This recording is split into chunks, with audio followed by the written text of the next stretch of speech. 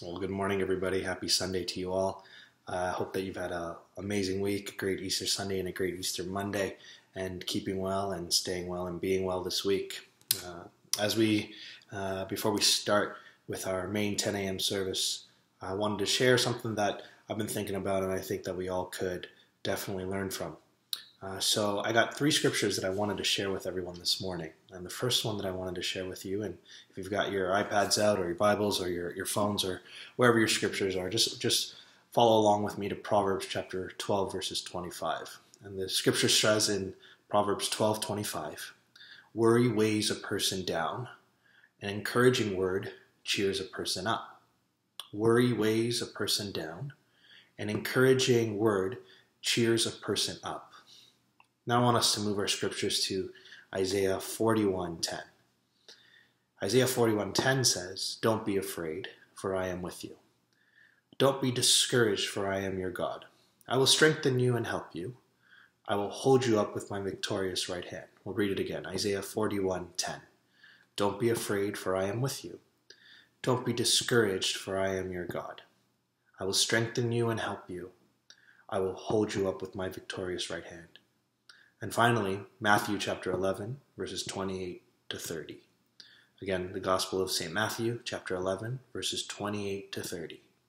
The scripture says, Then Jesus said, Come to me, all of you who are weary and carry heavy burdens. I will give you rest. Take my yoke upon you. Let me teach you, because I am humble and gentle at heart, and you will find the rest of your souls. For my yoke is easy to bear and the burden I give you is light.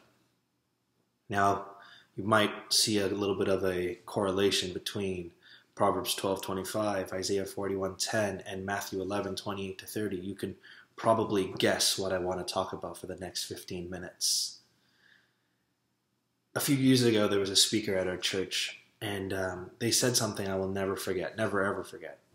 Um, if you've been like me, you've grown up at church, you've heard a bunch of sermons, you've heard a bunch of messages, uh, you've seen a bunch of different people come and uh, share the good news. Uh, but you're probably like me and you can't recall everybody's sermon titles. Uh, you can't remember which person shared what. Uh, but there was this one speaker who came to our church who said something about the concept of worrying that I'll never forget. And if you haven't uh, been able to see the correlation, what I want to talk about is worrying. And um, this speaker said something about worrying that I can never forget. And this is what they said, and I'm going to paraphrase it. They asked, Well, why do we worry all the time? Why do we care to worry all the time? Why does worrying take up most of our days? Why is worrying so important when science, data, and quantitative measures tell us that 80% of the stuff that we actually worry about will never happen? And that's what I will never forget is that 80% of the stuff that we actually worry about does not happen. So I started asking myself if more than half of the stuff that I worry about, if more than half of the stuff that keeps me up at night doesn't happen, then why does this horrible feeling take up most of my day? I started asking myself if worrying was a professional sport, many of us, you and me probably, would be the most valuable player on our team. Can you identify with what I'm saying? It's so hard not to worry when trouble looms all around us.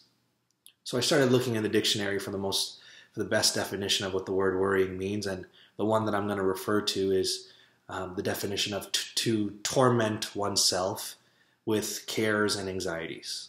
To torment oneself with cares and anxieties. So every time I worry, I torment myself. And what's interesting is no one is no one else is making us do it or doing to us. No one can make us worry. Instead, we're doing it to ourselves. No one is making us do it or doing it to us. Instead, we're doing it to ourselves. And I started thinking about it. When we worry, we allow our mindsets to dwell on the difficult circumstances, overwhelming fears, and other stresses that are weighing us down we're consumed over actual things we're facing or potential situations that may never occur. 80% of the stuff that I worry about does not happen, but I'm consumed over actual things I'm facing or potential situations that may never occur. And worry causes extreme distress in areas of our bodies. It prevents us from sleeping. Many of you can't even get a good night's sleep because of the worry that you go through. It impacts your relationships with your friends and your family and your loved ones. It affects your appetites. If you're like me, if you go through a season of worrying, you you won't eat anything because you don't have an appetite, and it might even cause you to perform poorly at work, where your mind is elsewhere, but you got projects to do or you got things to do, and you can't even find um, the peace of mind to do your work correctly. And I did a quick Google search to understand the human brain and I Google searched what are the things we worry about. Now, I understand that this might not be on your list, and every person is different, but I'm certain you and I have had some of the same worries that'll show up on this list. And here's what I found. Overwhelmingly, I Google searched about 15 or 20 different lists of what are the things we worry about. And these were our common denominators. The common denominators that I found were money and our finances, job security, relationships, and health, money and our finances, job security, relationships, and our health. And I thought to myself, well, isn't it interesting that a time like right now that we're living in, these four worries that I've highlighted money and our finances, job security, relationships, and health. Many of us who are sitting down with me this morning and listening, we're feeling it right now. There are some of us who are sitting down in our living rooms right now, or in our bedrooms, or our kitchens listening, who have been laid off. And we've lost hours at work, making it very hard to pay our bills, to pay our mortgage, to pay our line of credit, to take care of our families. Many of us have had to put our mortgage on pause, our car payments on pause, and we're worried about our money and our finances. And we're also worried about our job security. Some of us are working right now, but we're unsure if our job's going to last. Many of us are thinking that every day we go to work or every day we might get an email or a phone call saying you've lost your job or we've laid off. Some of us, actually a lot of us, have probably had a strain in our relationships because there is limited space and you're starting to get annoyed a little more quickly because you're always around your spouse or you're always around your partner or your children and you're not used to that. You're used to having your space or your nine to five and then you can come home and be with your family. But now that everybody might be in um, small quarters with one another, you might feel a little bit more agitated quickly. And then finally, your health. There's no there's no aloe vera gel anywhere. There's no Purell for miles. Everybody is concerned about their health right now. And it's interesting because the common denominator of what people worry about money and our finances, job security, relationships, and health that's what many of us are worried about today. And we tend to worry about what matters the most to us. It is also the place, though, that I've realized that we tend to trust God the least. We worry about the stuff that matters, but it's also the place where we don't trust God. When we have an extra amount of pressure put on us, we're under stress. We worry about things when we're stressed about. Something we're facing at work or home with a friend or family member or a fear has overtaken us that we can't seem to overcome, it all affects us. And when we are stressed, we look for ways to deal with that stress. Some people choose denial. Some people choose drinking. Some people would rather do drugs. Some may choose to, to vent to other people. Some may choose to cheat on their partner. Many choose worrying as their coping mechanism. Imagine that worry is a fire. And the more we worry and the more we allow worrying to occupy our thoughts, the more fuel we're putting on that worry fire. The more we do this, the bigger the fire we have to put out later. Most of our worry is directed towards things that might happen. But the truth is is that if you're worrying about it, it's probably dictating your life. And it does nothing but make your problem bigger. I can never imagine, and I won't imagine how many of you are feeling this morning. Some of you might be doing amazing during this time, and you've mastered your mental health and the space that you're living in and the space that you're working in. But many of us, we're uncomfortable. We're living in a moment of uncertainty, and we can't help but think of the worst common denominator. The least we can do is remind ourselves that even though it seems uncertain, I can guarantee if you have even just a little bit of a mustard seed of faith, that God will get me through it. Even if it seems impossible, a mustard seed of faith ought to tell us that God has a plan to get me through this. Matthew 6:34 is a scripture that I'd ask everyone to turn their their Bibles to or to, to put their phones on or their iPads on it because I think this is really important for us to remember. Matthew 6:34 says, "Do not worry about tomorrow, for tomorrow has its own worries. Today's trouble is enough for today." I'll read it again. So do not worry about tomorrow, for tomorrow will bring its own set of problems, its own set of anxieties, its own set of worries and issues. Don't worry about tomorrow. Tomorrow will bring its own problems. Today's trouble is enough for today. Now, for many people I've asked, this can be something very comfortable.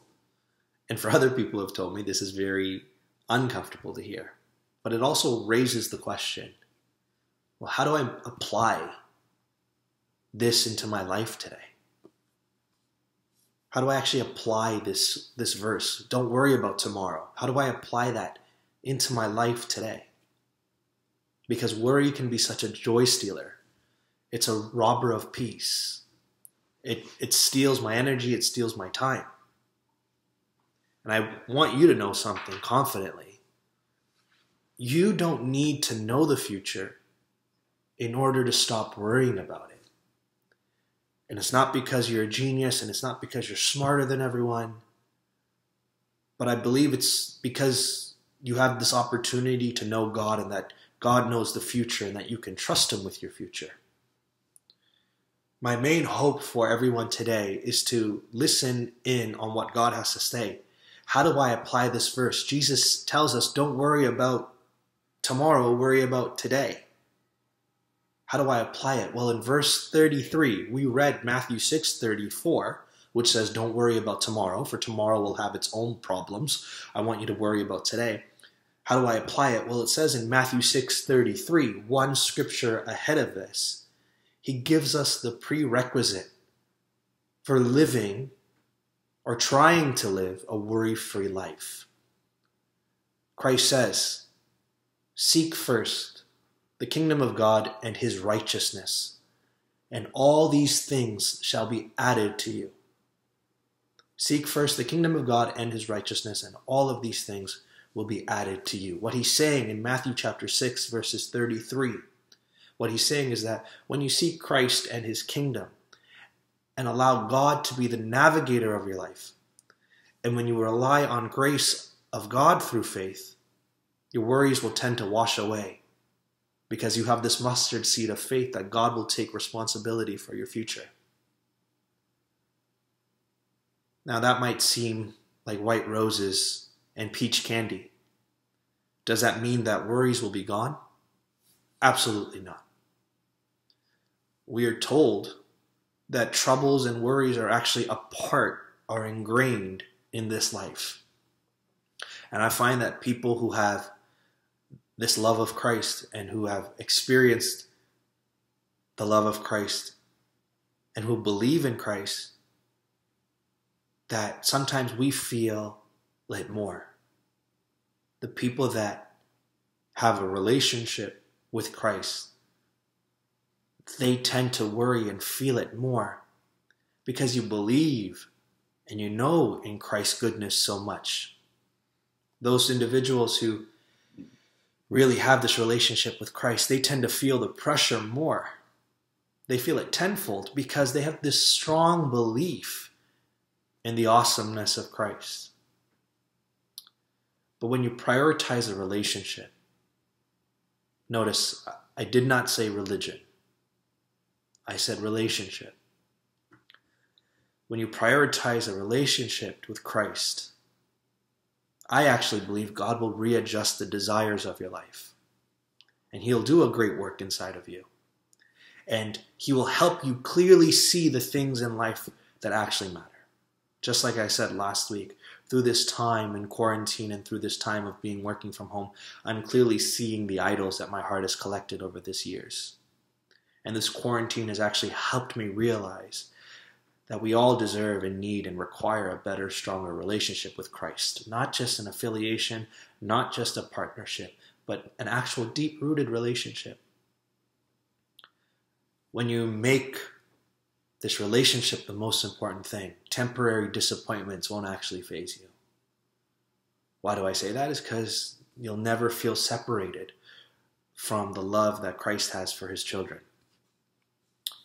How many of us are sitting down and listening in your living rooms today, actually wanting to have that deeper relationship? And I can tell you, I know I still do, and I hope you do too. Think about those relationships that you have currently in your life, or the relationships you've had in your past with, with who I'm talking about as your best friend. I want you to think about that person who has been with you through thick and thin. That individual we like to call our ride or die that friend, that best friend in your life that no matter what time it is, whether it's 10 o'clock in the morning, 6 to 6.30 in the evening, or 3.30 in the morning, if you call, they're going to pick up. That friend who was with you when your heart got broken. That friend who was with you uh, when you were really sick and that person was always there checking up on you and making sure you're okay. That friend who was with you, that person that you had called when you and you got passed up for that job promotion and you felt like you were defeated, but that person had the right words to lift you up think about that friend that was with you maybe when you got a, a divorce or your heart was broken uh, or you went through a bad relationship or you had problems in your family and, and they were with you through thick and thin. That one individual in your life who you can count on. And I ask you to now consider that person and what is that relationship built on? What is it rooted on? And I can guarantee you that person who you could call at 2:30 in the morning the reason why you have that relationship, the reason why you have that permission to call them at 2:30 in the morning is because you have a relationship with that person that is rooted in love and trust. True friendship has love and trust always at the core of it all. And then I started asking myself, isn't that what a relationship with Christ actually looked like? Love and trust in Christ, loving Him and trusting Him to be with you through thick and thin, through good times and bad, through despair and happiness. I started asking myself, well, isn't that what Christ wanted from all of us? To trust Him as much, maybe even a little bit more than that friend that we can call at 2:30 in the morning.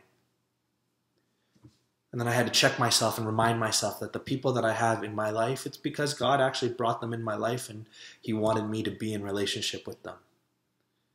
Let's remember that God also put Christ in the world so that I could also have a deeper relationship and the greatest friend of all. A friend that will cry with you, a friend that will comfort you and be with you and shield you and essentially die for you.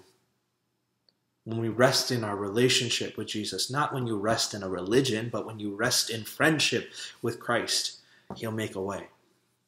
The scripture says, Cast all your burdens on Him, for He cares for you. And when He cares for you, your burden will become light. How many of us are sitting in our living rooms this morning wishing for our burdens to be light? I know I want them to be light.